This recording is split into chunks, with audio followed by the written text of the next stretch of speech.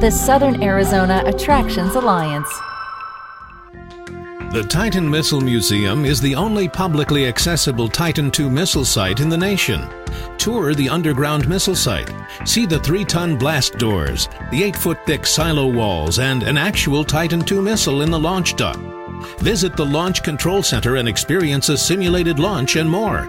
Learn about life as a member of the Titan II crew and their vigilant efforts to keep our country safe during some of the most tumultuous of times.